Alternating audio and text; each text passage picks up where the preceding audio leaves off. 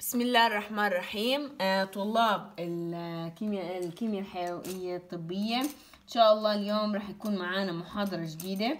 محاضرتنا اليوم إن شاء الله آه، إن شاء الله إنها ال- يعني محاضرة مهمة. رح نحكي فيها آخر موضوعين معانا بالمادة. الموضوع الأول اللي رح نحكي عنه المرة الماضية إحنا طبعا بلشنا نحكي أنا وياكم عن آه، البيراميدين آه، آه، أنابوليزم. تمام؟ حكينا إنه البيراميدين أنابوليزم في إنه ممكن يكون دي نوفو يعني إنك أنت بتصنع البيراميدين من الصفر ومم- وممكن إنه يكون هذا ال- التصنيع أو هذا الأنابوليزم من سلافيش باث واي أو من other من other nucleotide كانت مكسرة عندنا لأي سبب من الأسباب.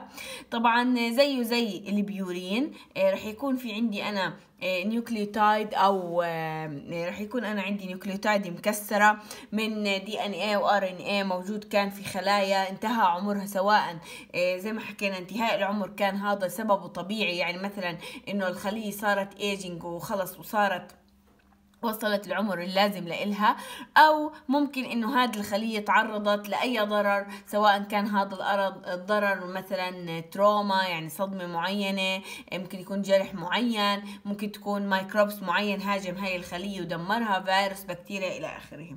ال DNA أو ال RNA اللي فيها بتكسر فممكن إحنا نستخدم القواعد هذه اللي ناتجة عن تكسير ال DNA وال RNA مباشرة آه، ونعيد نعملها كأنه recycle يعني نعيد تصنيعها ونحولها مرة أخرى ل آه، ل آه، nucleotides جديدة آه، تفوت في تصنيع other DNA و RNA طيب الإشي اللي أنا بدي احكيه هلأ إنه بشكل عام بال salvage pathway أنت بيكون عندك آه، ال pyrimidine base بت آه، بتكون آه، موجودة مع أو يعني بت بت تتفاعل مع آه، اللي هو ال ribose pyrophosphate تمام؟ وبيعطيني ال pyrimidine nucleotide. لكن هذه الصراحة مختصرة كتير ويعني مش كافية. فمشان هيك أنا كالعادة كتبت لكم ال salvage pathway بالتفصيل للقواعد ال pyrimidine الثلاثة اللي هم اليوريسيل أو اليوريدين مونوفوسفات والثايميدين مونوفوسفات وطبعا السيتيدين مونوفوسفات والسيتيدين. ال cytidine monophosphate طيب راح أجي أنا وياكم نمر على اليوريسيل هلأ اليوريسيل اللي بتكون جاي من damage nucleotide راح تتفاعل مع ال ribose 1 فوسفات آه ال ribose 1 فوسفات هذا بوجود أنزيم ال uridine phosphorylase راح يعطيك يوريدين. طبعا يوريدين اللي هو ال nucleoside. هلأ ال nucleoside آه هذا اللي هو اليوريدين. رح نضيف عليه حبة ATP طبعا ال ATP رح تطلع على شكل ADP زائد uridine monophosphate. يعني أخذنا حبة الفوسفات اللي هون ربطناها مع هذا ال nucleoside فأعطاني uridine monophosphate. هلأ دائما دائما عمرك ما تنسى إنه النيوكليوسايد هو عبارة عن الرايبوز شوجر زائد النيتروجين بيز النيوكليوتايد بيزيد عن عن ال nucleoside بحبة الفوسفات. فهيك بتكون عندي ال uridine monophosphate من يوريسيل ناتج من قاعدة نيتروجينية أو من nucleotide مكسر من DNA مكسر. بالنسبة لل هلا في طريقة تانية. هلا بالنسبة لليوريسيل أنا في عندي طريقتين. الطريقة ال- الأساسية هذه اللي هي طريقة A. اللي هي تفاعل اليوريسيل مع ال ribose وال phosphate تمام؟ هلأ في عندنا طريقة تانية إنه آه، من آه، ال cytidine من ال cytidine إنه أنا يكون في عندي نتيجة التكسير أنا يكون في عندي نتيجة التكسير قاعدة cytidine أو nucleoside cytidine تمام؟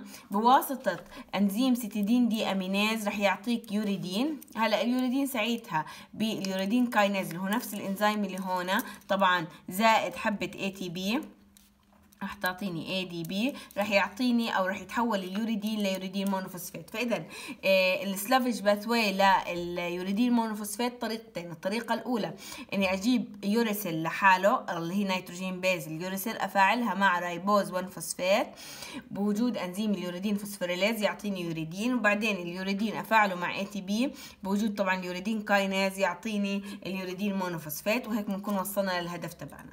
هلأ في طريقة تانية لل uridine monophosphate monophosphate اللي هي عن طريق ال cytidine لأنه زي ما اتعلمنا بال pathway المرة الماضية أو حتى بال synthesis إنه في علاقة مباشرة بين ال cytidine وال uracil لأنه أصلا تركيبهم كتير بيشبه بعضه. آه عن طريق ال cytidine ال cytidine آه deaminase آه رح يتحول الستيدين ليوريدين. بعدين اليوريدين باليوريدين كايناز رح تكون عندك ال uridine monophosphate اللي هو نفسها ال UMP. طيب نيجي للثيامين أو ال thymidine monophosphate بيكون عندي أنا القاعدة الفوسف القاعدة النيتروجينية اللي هي ثايمين اللي هي بتكون ناتجة كمان from damage. عفوا from damage nucleotide. تمام؟ آه رح تتفاعل طبعا مع آه بما إنه آه يا جماعة بما إنه ال thymidine القاعدة اللي بيكون طبعا بس موجود في ال DNA وما بيكون موجود في ال RNA ودائما لازم يكون deoxy فرح يتفاعل مباشرة مع ال deoxyribose one phosphate تمام؟ طبعا إيش رح يعطيك؟ رح يعطيك deoxythymidine طبعا بوجود أنزيم ال thymidine phosphorylase. هلأ ال thymidine أو ال deoxythymidine زائد ال ATP مع thymidylate kinase رح يعطيك thymidine monophosphate أو طبعا deoxythymidine monophosphate. مش بيناتنا ال deoxy إحنا حكينا ال ribonucleotide الأنزيم اللي تعرفنا عليه المرة الماضية أي قاعدة شو اسمه أي قاعدة يعني مش deoxy أو قاعدة السكر اللي فيها ribose بكل بساطة أنا بقدر أح... بقدر أحولها ل deoxy عن طريق زي ما حكينا المرة الماضية اللي هو الإنزيم. اللي حكينا عنه اللي هو ال ribonucleotide reductase. حكينا أي كانت قاعدة عندك مثلا مش فرضا thy مثلا thymine monophosphate بدي أحول thymidine monophosphate ل deoxythymidine monophosphate بكل بساطة بجيب إنزيم ال ribonucleotide reductase وعلى طول بتحول عندي فما في عندي أياتها مشكلة. هلأ بالنسبة لانك تحصل على ال cytidine monophosphate عن طريق ال salvage pathway بدك تحصلها شوي بطريقة صعبة. بدك تحصلها من إنك أنت يكون عندك T UTP اللي هي شو ال UTP اللي هي uridine triphosphate عن طريق ال cytidine synthase نفس اللي انت بتستخدمه أصلا في حالة نفس اللي انت بتستخدمه أصلا في حالة ال synthesis تمام؟ يكون بس إنه هذا هذا ال UTP ال uridine triphosphate بده يكون ناتج from damaged DNA طبعا هو ما راح يكون from damaged DNA لأنه أصلا اللي بيكون عندنا في ال DNA وال RNA اللي بيكون عندنا هو بيكون mono مش tri بيكون mono مش tri طيب نيجي نحكي لإنه ال uridine triphosphate بي عن طريق ال cytidine synthase راح يتحول ل ال cytidine triphosphate. هلا آه بعد هيك أنا عندي cytidine triphosphate. آه راح نخسر لو بنجيب ADP حتى نخسر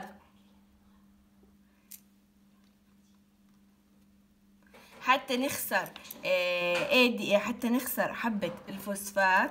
حتى نخسر حبة الفوسفات تمام؟ راح نفعلها مع إيش؟ مع دي بي هلأ آه بعديها دي بي طبعا راح تتحول تي بي وراح يصير عندي أنا إيش؟ راح يصير عندي ستيدين آه داي فوسفات وكمان حبة بي تاني راح يطلع عندي في الأخير السي ام بي أو اللي هي الستيدين مونوفوسفات فاذا آه للأسف السيتوسين أغلب يعني أصلا أغلب تصنيعها بيكون في الجسم عن طريق ال de novo مش عن طريق ال salvage لكن إذا بدها تكون عن طريق ال salvage بدها تكون من ال UTP بدها تكون من ال UTP ال UTP هذه ممكن يكون أصلها UMP يعني ممكن يكون أصلها uridine monophosphate بعدين تحولت ل uridine diphosphate بعدين uridine triphosphate وبعدين كملت في ال pathway هاي فما في مشكلة. بس المهم أنا عندي بالنسبة للسيتوسين أو بالنسبة لل cytidine monophosphate لل salvage pathway إنك تعرف إنه بيجي من اليوريدين. تعرف إنه بيجي بشكل أساسي من وين؟ من اليوريدين. تعرف إنه بيجي بعد ثانية بشكل أساسي من وين؟ من اليوريدين. هاي يا جماعة كانت ال salvage pathway بتمنى إنكم تكونوا فهمتوها. أنا حاولت إني ألخصها في آه خلينا نحكي في أسهل طريقة ممكنة. على كل راح أعيدها أنا وياكم هلأ كمان مرة مشان تدخل. هلأ أول إشي بالنسبة لل uridine monophosphate أنا في عندي طريقتين. الطريقة الأولى إنه يكون عندي اليوريسل زائد ال ribose monophosphate بيعطيني uridine وال uridine زائد ال ATP بوجود طبعا uridine kinase رح يعطيك ال uridine monophosphate أو إنك تصنع ال uridine monophosphate من ال cytidine نفسها. بتجيب ال cytidine اللي هي nucleoside ماشي الحال آه عن طريق cytidine deaminase بتحول ال cytidine ل uridine. بعدين uridine kinase بيعطيك ال uridine monophosphate. بالنسبة للثيامين سهل جدا وبيشبه كتير ال الطريقة الأولى تاعت اليوريدين أنا بيكون في عندي ثيامين زائد إما ribose أو deoxyribose تمام؟ بس بما إنه ال thymine ال thymidine monophosphate هو فقط بيكون موجود في ال DNA ما بيكون موجود في ال RNA فدائما لازم يكون deoxy. المهم بعطيك ال thymidine أو deoxythymidine deoxythymidine بوجود ال thymidylate kinase رح يعطيك ال deoxythymidine monophosphate تمام؟ طبعا هذه هيك يعني deoxy يعني أو إنه thymidine monophosphate أنا المهم عندي يعني كليته زي بعض. وحكينا أي مشكلة بالنسبة لل nucleotide وال deoxynucleotide بتحلها بكل بساطة بأنزيم ال ribonucleotide reductase. طيب أما المشكلة عندنا دائما بتكون وين؟ في ال salvage pathway لل cytidine هلا ال cytidine monophosphate ما يعني ما في ما بتقدر إنك تكونها من السيتوسين بشكل مباشر ما في. لا بدك تجيب آه بدك ترجعها أو بدك تكونها من اليوريدين. هلأ إما يكون أنت عندك uridine monophosphate بتحوله ل uridine diphosphate بعدين ل uridine triphosphate تمام؟ ال uridine triphosphate هي راح أكتبها هون مشان أنت تكون عارف. هي راح أكتبها إنها. هاي من وين جاي؟ جاي from uridine diphosphate and uridine monophosphate بس مشان تكون عارف لأنه إحنا دائما نحكي salvage يعني هو من DNA و RNA محطمة.